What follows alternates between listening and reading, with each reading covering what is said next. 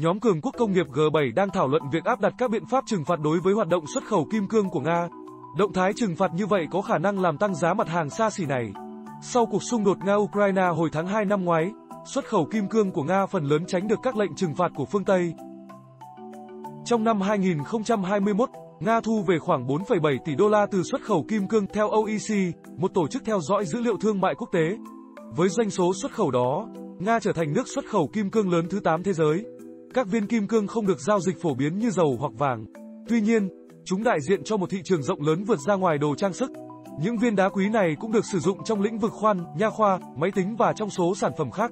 Một số nước mua một lượng lớn kim cương của Nga, chẳng hạn như Bỉ, muốn có một cách tiếp cận toàn cầu đối với kim cương xuất khẩu của Nga. Điều này giúp bảo đảm các biện pháp trừng phạt không gây tổn hại quá mức đối với họ. Kim cương chiếm 5% kim ngạch xuất khẩu của Bỉ và tạo ra khoảng 30.000 việc làm ở thành phố cảng Antwerp. Do đó, Bỉ có thể phủ quyết một lệnh cấm vận kim cương Nga của EU. Cuộc thảo luận về biện pháp trừng phạt kim cương của Nga đã diễn ra được một thời gian vì có nguy cơ rõ ràng là Nga có thể chuyển hướng xuất khẩu kim cương sang các nước không tham gia lệnh trừng phạt của phương Tây. Edward Gardner, nhà kinh tế hàng hóa của công ty tư vấn Capital Economics nói, ông cho rằng nếu các biện pháp trừng phạt bịt các lỗ hổng có thể giúp Nga né tránh, thì nguồn cung kim cương mà Nga đưa ra thị trường sẽ ít hơn và giá sẽ được đẩy lên mức cao hơn.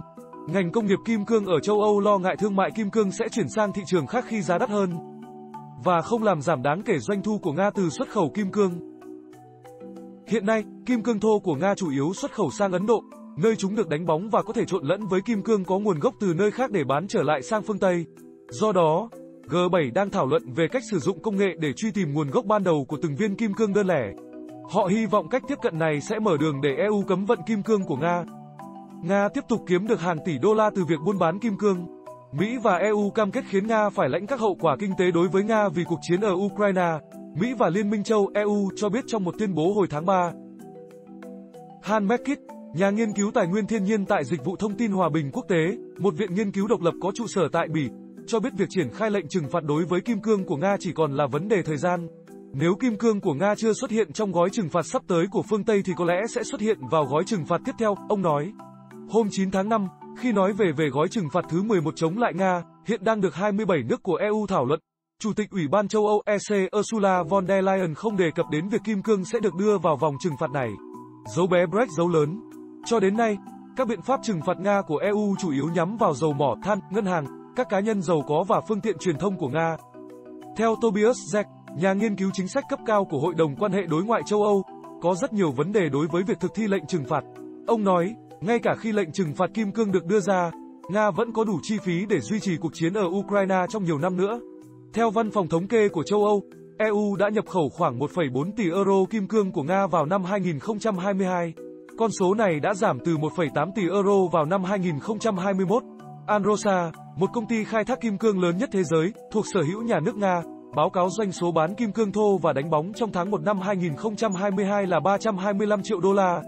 Kể từ đó, Androsa dừng cập nhật kết quả kinh doanh. Vào tháng 4 năm ngoái, Bộ Tài chính Mỹ đã mở rộng các biện pháp trừng phạt đã áp dụng trước đó với Androsa. Anh, Canada và New Zealand cũng triển các biện pháp trừng phạt tương tự nhằm vào Androsa. Đối với Ấn Độ, việc loại bỏ kim cương Nga khỏi thương mại quốc tế sẽ khiến hàng trăm nghìn việc làm gặp rủi ro, từ những người thợ kim hoàn cho đến thợ đánh bóng kim cương.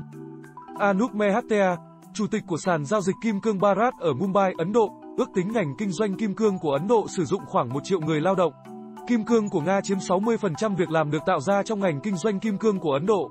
Kim cương của Nga có chất lượng thấp và kích cỡ nhỏ hơn. Các viên đá quý càng nhỏ và càng rẻ thì càng cần nhiều người cắt và đánh bóng chúng, ông nói. Theo CNBC Financial Times, cảm ơn các bạn đã xem bản tin.